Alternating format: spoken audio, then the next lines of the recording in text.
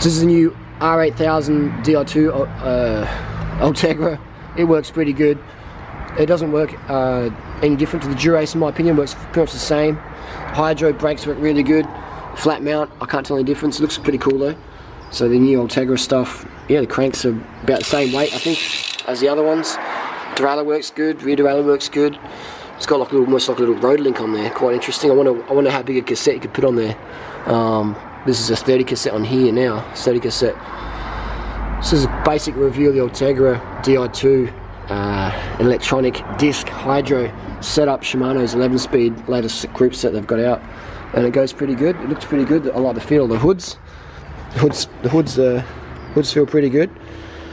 And they, they definitely feel very solid and secure. It's pretty similar to my Dura-Ace ones here um, on this TCR so it feels pretty good it does feel pretty good and this is my TCR Dura-Ace this is actually a pretty cool little mirror the Cat-Eye BM45. There you go, so that's a, a non-disc TCR, this is a disc version. I've done another video about that later on on my other channel. But uh, it's quite interesting, you can, you can change the shifters up here as well. That's pretty cool. You can change gears up top, I think, I think if you activate it or whatever.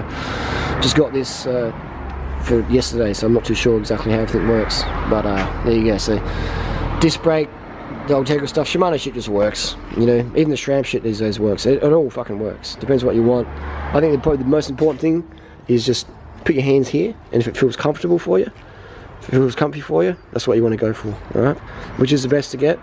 The best group set to get is whatever feels best in your hands. And then just choose what gear ratios you have, you know?